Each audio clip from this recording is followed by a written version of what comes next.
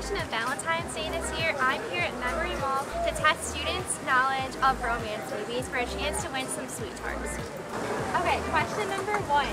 What famous singer starred in 1992's The Bodyguard? A. Mariah Carey, B. Alicia Keys, or C. Whitney Houston? Whitney Houston, yeah. Yeah, good job! um,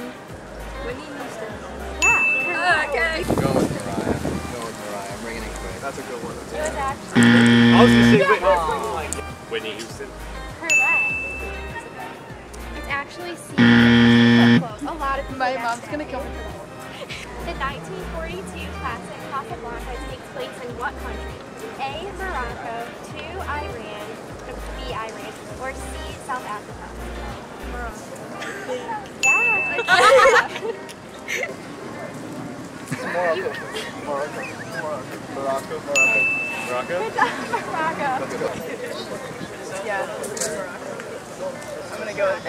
Yeah, Morocco. Yes, Morocco, correct. What, three. What was the name of Elle Woods' Chihuahua in Legally Blonde? A. Crusher, B. Bruiser, or C.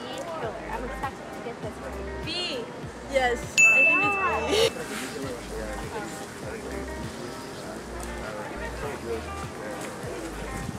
Bruiser. That's correct.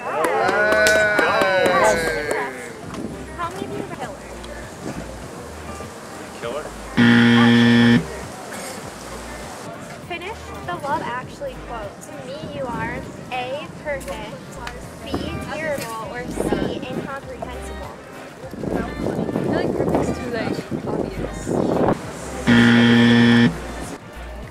Yes, perfect. You're the first person who, who has gotten that right, so good job. Um, in the last question, so what film features a classic upside down kiss between a masked superhero and his love interest? Oh, this interest?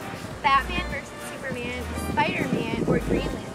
Spider-Man. Yeah. Yes, good job. Thank you so much. Okay, Spider-Man. good job. So there's Green Lantern. Spider-Man.